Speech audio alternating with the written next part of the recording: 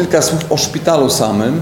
Szpital, podstawowa informacja, obsługuje statutowo obszar 420 tysięcy osób. Pracowników mamy 2142 osoby, 42 oddziały, jeżeli chodzi o nasz grudziącki szpital.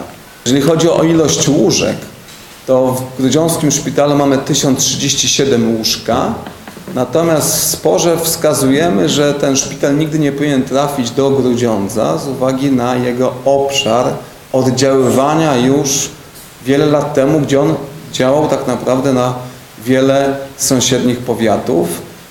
I dla przykładu to jest stan ilości łóżek w szpitalach, które przejął samorząd województwa kujawsko-pomorskiego i proszę zwrócić uwagę, w Bydgoszczy szpital obserwacyjno-zakaźny 120 łóżek, tak? Kujawsko-Pomorskie Centrum Pulmonologii 294 i tak dalej.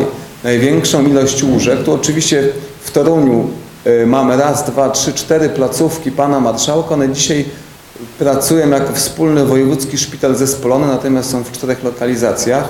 I tam jest o kilkadziesiąt łóżek łącznie więcej od szpitala w Grudziądzu, natomiast przykładowo wojewódzki szpital specjalistyczny we Włocławku ma 630 łóżka. I teraz co do, co do samego zakresu oddziaływania, ten slajd też wielokrotnie Państwu pokazywaliśmy, że szpital grudziącki tak naprawdę oprócz samego miasta Grudziądz Głównie jego pacjentami to są pacjenci z powiatu świeckiego, z powiatu grudziąckiego, ziemskiego, z powiatu wąbrzeskiego i brodnickiego, ale też już w znaczącej mierze ze strony północnej, z województwa pomorskiego są to pacjenci z powiatu kwidzyńskiego, z województwa warmińsko-mazurskiego, z powiatu iławskiego, ale też z powiatu chełmińskiego, golubsko-dobrzyńskiego, ale też i samo miasto Toruń i miasto Bydgoszcz tutaj przysyła do grudziąckiej placówki swoich pacjentów. Jeżeli spojrzymy na wartość świadczeń zdrowotnych, które została udzielona w pierwszym kwartale bieżącego roku w grudziąckim szpitalu, to ta wartość tylko 38% to są mieszkańcy samego Grudziądza. Pozostała część, prawie 50%, są to pozostali mieszkańcy województwa kujawsko-pomorskiego, a proszę zwrócić uwagę, aż 10% są to mieszkańcy województwa pomorskiego. O sporze kompetencyjnym, w jaki sposób on powstał, Państwo doskonale znacie, tylko przypomnę w trzech zdaniach. Na początku roku poprosiliśmy o opinię prawną naszej kancelarii Nowakowskiej Wspólnicy Strunia sporządzenie, czy faktycznie doszło do przekazania kompetencji organu administracji rządowej, administracji samorządowej, czyli miastu Grudziądza w zakresie podmiotu tworzącego dla Regionalnego Szpitala w Gryziądzu. Opinia Kancelarii Storunia była, że w ich ocenie to nie, do takiego przekazania nie doszło.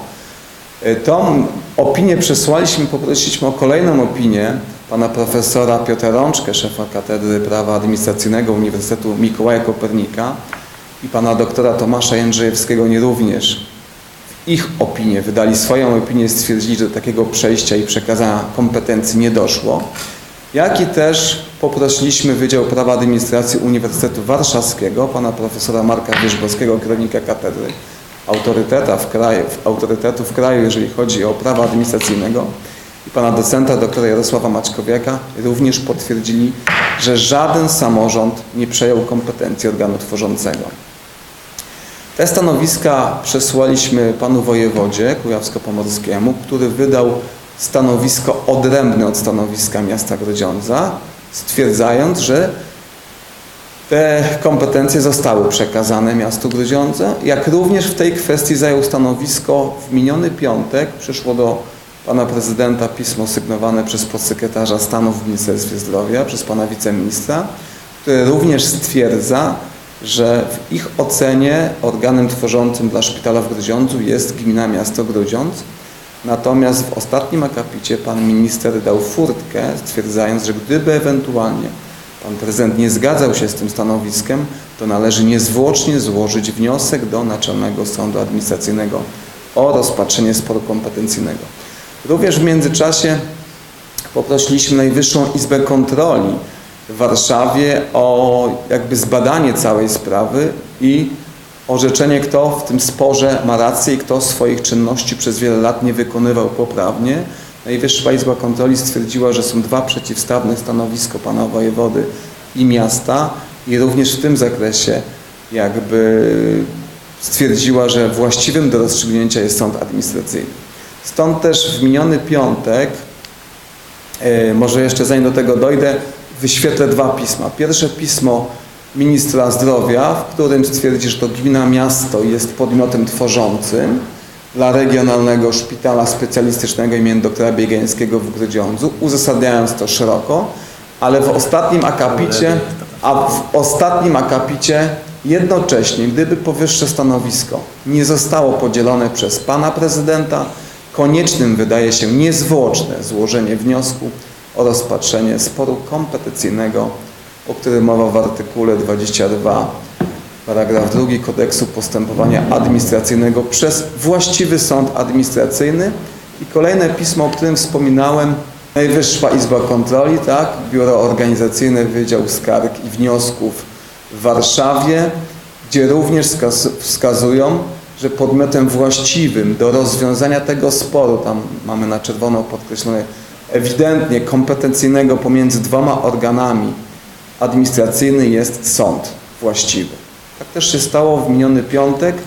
Pełnomocnik Gminy Miasto Grudziądz, Kancelaria Radców Prawnych profesora Marka Wierzbowskiego i partnerów z Warszawy złożyła wniosek do sądu administracyjnego. Dlaczego tak ważne, dlaczego tak ważne jest ustalenie, kto jest organem tworzącym dla szpitala, ponieważ zgodnie z ustawą o działalności leczniczej na tym organie yy, organie, na podmiocie tworzącym ciąży wiele obowiązków, jak choćby nadawanie statusu szpitala, statutu, ogłaszanie konkursu na stanowisko kierownika placówki, powoływanie i odwoływanie Rady Społecznej, która opiniuje różnego rodzaju kwestie związane z działalnością placówki medycznej, określenie zasad dotyczących zbywania aktywów trwałych takiego SPZOS-u, oddanie ich w dzierżawę, użytkowanie wieczyste, wyrażenie zgody na czynność prawną mającą na celu zmianę wierzyciela, możliwość pokrycia ujemnego wyniku finansowego, podejmowanie uchwały o zmianie formy organizacyjno-prawnej albo likwidacji, sama likwidacja, ale też sprawowanie nadzoru. Tak jak wspomniałem, wniosek został złożony do sądu administracyjnego tutaj macie Państwo wyświetlony schemat, w jaki sposób to będzie się działo. Pierwsza Rada Miejska upoważniła na ostatniej sesji Rady Miejskiej prezydenta Grudziądza o wystąpienie do odpowiedniego sądu administracyjnego o, z tym sporem kompetencyjnym. Również Ministerstwo Zdrowia, pan minister, jak i Najwyższa Izba Kontroli stwierdziła, że ten spór należy rozpatrzyć przed sądem. Spór został złożony w Naczelnym Sądzie Administracyjnym, ponieważ on jest właściwy tylko i wyłącznie do rozstrzygania sporów kompetencyjnych. To ma tyle znaczenie, że jest to tylko i wyłącznie jedna instancja i jakby rozstrzygnięcie samego sporu kończy bieg sprawy. Tutaj nie ma już odwołania do wyższej instancji. Czyli nie idziemy do wojewódzkiego sądu, tylko bezpośrednio do naczelnego w Warszawie i on prawdopodobnie w składzie trzyosobowym orzeknie i to stanowisko będzie już ostateczne. Oczywiście może się tak zdarzyć, że sąd w Warszawie odrzuci tego typu wniosek, stwierdzając, że on nie jest kompetentny do rozpatrywania, bądź też z innych przyczyn, ale w takim wypadku pozostaje nam odrębne postępowanie przed Wojewódzkim Sądem Administracyjnym, tutaj w Bydgoszczy, a przy scenariuszu takim, jakiego się spodziewamy, czyli pozytywnym, sprawa zostanie przyjęta i nastąpi rozstrzygnięcie sporu. Teraz jakie może być to rozstrzygnięcie sporu? Mianowicie może być takie, że Naczelny Sąd Administracyjny stwierdzi, że w ich ocenie miasto, powiat Grudziądz jest organem tworzącym dla szpitala. Ale też, tak jak uważamy, będzie, że to jednak wojewoda kujawsko-pomorski jest tym organem tworzącym i, prze, i przekazanie tych kompetencji nigdy nie nastąpiło. W takim przypadku prezes Rady Ministrów musi wydać, y, musi wydać oddzielne rozporządzenie. Wcześniej będzie ono poprzedzone najprawdopodobniej nową ustawą yy, sejmową. I co się może zdarzyć? Prezes Rady Ministrów może taki szpital w Grudziądzu przekazać Ministerstwu Zdrowia, a takie rozmowy prowadziliśmy z panem ministrem Radziwiłem, że on potencjalnie mógłby być, jest zainteresowany przejęciem szpitala w Grudziądzu jako swojego ministerialnego, może się zdarzyć, że ten szpital trafi do samorządu województwa kujawsko-pomorskiego. Oczywiście też może się zdarzyć, że on trafi do miasta powiatu Grudziądz, ale to jest najmniej prawdopodobne ze względu na to, co Państwo wyświetliliśmy na poprzednich slajdach, na oddziaływanie, bo zgodnie z ustawą przepisy wprowadzające reformę administracji publicznej w kraju artykułem 47 punktem 1a mamy dwa, dwie takie sprawy, że prezes Rady Ministrów musi brać pod uwagę zasięg oddziaływania danej placówki na obszarze województwa. Jak wcześniej pokazaliśmy Państwu, Szpital Grudziącki jest największym szpitalem w województwie kujawsko-pomorskim, mający największe oddziaływanie, jeżeli chodzi o pacjentów. Jedyny szpital regionalny w Polsce, którego organem tworzącym do tej pory uważanym było miasto powiatowe. Dokładnie. Takiego przypadku drugiego w Polsce nie ma.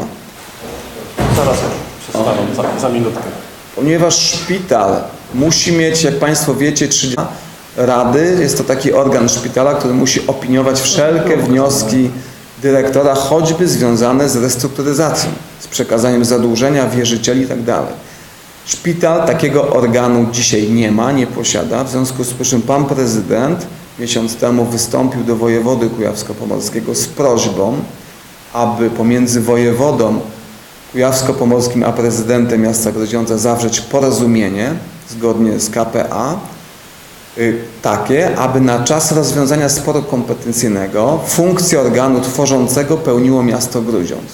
Ale z drugim zastrzeżeniem, aby w tym porozumieniu zaproponować zastrzeżenie, że żadna ze stron nie będzie wykorzystywała tego faktu w toczącym się sporze i po jego zakończeniu. To jest o tyle istotne, bo dzisiaj ktokolwiek z organów, który, jak Pan Prezydent wspomniał, by powołał tą Radę, z automatu mówi, to ja jestem organem tworzącym. A tu proponujemy, aby się porozumieć i porozumieć. I ten wniosek prezydenta Grodziądza został w dniu wczorajszym poparty przez Wojewódzką Radę Dialogu Społecznego.